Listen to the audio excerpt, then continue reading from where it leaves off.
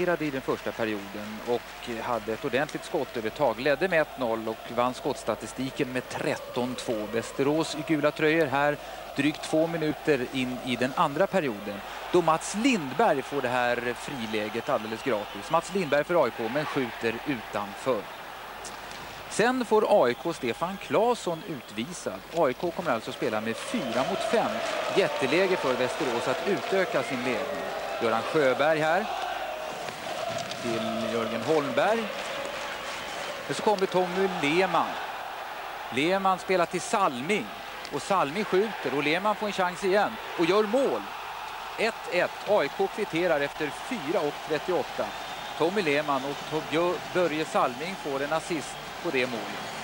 Fin comeback för Börje Salming. Nu tre minuter senare, AIK i anfall.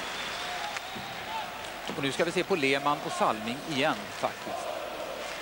Englund för AIK. Lehmann och Salming och där gör Salming mål i sitt comeback. 2-1 för AIK efter 7.29.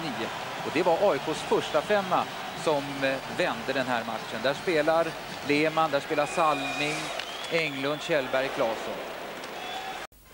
Det går inte att undvara den här frågan. Hur känns det? Ja, det känns jättebra. Speciellt om man vinner första matchen. Den är, den är viktigast att få ett bra start. Du hann med det mesta ikväll. Mål, assist och utvisningar. Och hade du väntat dig så mycket av första matchen? Ja, det gör man inte. Man vet ju aldrig vad som ska hända. Man vill inte vara inne på baklängesmål och sen har man tur och få ett framlänges. Så det är jättebra. Det ska man vara glad.